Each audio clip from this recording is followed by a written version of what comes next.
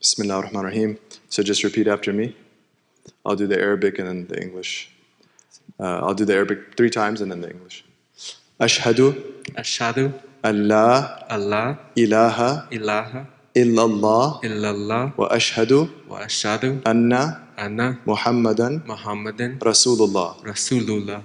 Ashhadu Ashhadu Allah. Allah ilaha ilaha illallah illallah wa ashhadu wa ashhadu anna anna Muhammadan Muhammadan Rasulullah. Rasulullah. Ashhadu Ashhadu an la Allah ilaha ilaha illallah illallah wa ashhadu wa ashhadu anna anna Muhammadan Muhammadan Rasulullah. Rasulullah. I testify I testify that there is no deity that there is no deity except Allah, except Allah, and I testify and I testify that Muhammad that Muhammad is the messenger of Allah. is the messenger of Allah. Allahu Akbar.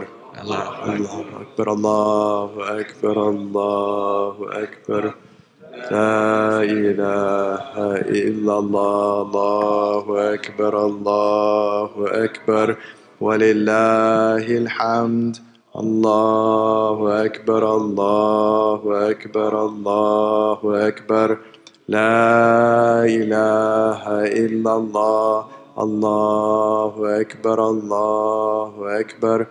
Walillahi alhamd. Alhamdulillah. All praise be to God Almighty. You are uh, like the day you were born, without any sin, and so uh, this is the this is the most beautiful day of your life, and we are so honored to be here with you. And so remember us in your prayers. Pray for us. And if you have any uh, anything we can do to serve you, inshallah, the community we're here to serve you. Any questions, any support we can provide. Uh, alhamdulillah. Sorry. Okay. Yeah. Bismillah. Um, well, yeah, I mean, guess I'll tell. we can Take this off. Vaccinated. Um, so yeah, it's been it's it's been a journey coming into Islam. Um, I didn't grow up religious, um, but I was always into spirituality. In high school, I dabbled in Catholicism, Christianity. Just didn't resonate too much with me. Um, as I carried on to college, um, I did psychology and took a bunch of world religions classes and philosophy classes, just dabbling more, like getting into Eastern philosophies. Um, you know, dabbled into Taoism and Hinduism, Unitarianism. I feel like I like deliberately like skipped the class on Islam because of the whole Islamophobia and everything. Astaghfirullah. Um, as I carried on, um, I ended up going to grad school and getting my master's in holistic marriage and family therapy with an emphasis on Buddhist psychology. So it was just like um, really into like the Eastern stuff. That was in 2015. In 2017, um, I was just randomly in another city than I lived, and I walked into a bank, and this guy greeted me, and he was like super nice and respectful, and I, would, I, I was just thinking to myself like, why is this guy so respectful, like so nice? And he just kept looking at me. He was like, I know you from somewhere, and so he kept asking questions, and then he was like, we, we finally figured it out. He, we were best friends in elementary school. This was 20 years later that we're reunited. He's a he was a born Muslim, so we we like just embraced right there in, in the bank and like hugged and like got each other's numbers, and that's when kind of like my journey to Islam began. And I know it's just been in stages. So 2017, I just you know started learning about it and like researching it. And at first, it was like trying to like prove it wrong and like see what's wrong with it, but it backfired a little bit in the best way possible, right? Um, so it just it just turned around. And I just fell in love with it. It was like it was like all the stuff that I loved about all the other faiths that I had dabbled into. It was like Islam had all of it put into one, right? It was like the balance of all the other faiths combined. So I, I you know, and it just I it just everything made sense. It answered all the questions that I had about things, um, and so it's it, it had been like a you know a journey. So in 2019.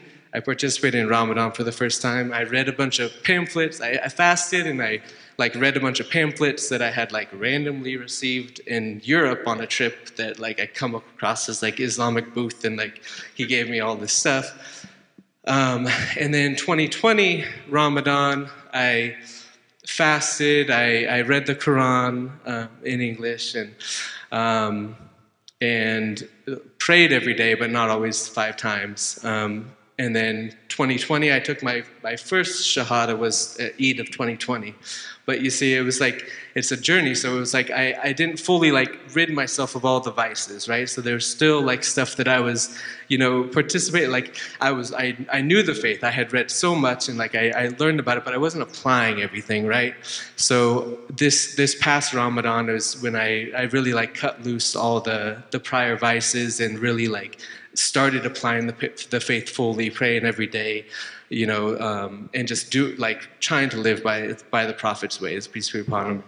Um, and and and then it was just like life just kind of like changed like drastically, like exponentially, right? Like so once once started applying it and just thinking of, you know, Allah Subhanahu wa Taala, it's just like, um, just you know, health got better, family got better, you know, work got better. I started attracting like amazing people into my life. Like, may they be rewarded for for the goodness that they brought and like the catalyst for, you know, just enhancing my you know iman. And um, I know that it's a journey. Like, it's not like, you know, it's not always easy. Not just because I joined this faith that now everything's all you know butterflies and rainbows like it's it's it's a challenge and it's you know ongoing and like it's a i know it's a lifelong journey um, but it's like anything is just better as we're closer to Allah. Like it, it just makes everything better, everything more easy. Like um, just knowing that you know we have this like support that's always there, no matter where you are, um, and you don't need anybody to talk to him. You can talk to him whenever,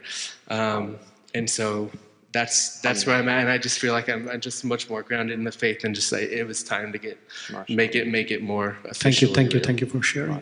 Jazakallah khair. Jazakallah. Mashallah. Welcome to our community. Uh, I know all of them will be greeting you now. You can- Alhamdulillah. All right, so we'll give COVID-friendly uh, hugs and fist bumps to Brother Chad, inshallah. And then uh, in the conference room, inshallah, we have another shahada. So after sunnah, let's go there, inshallah.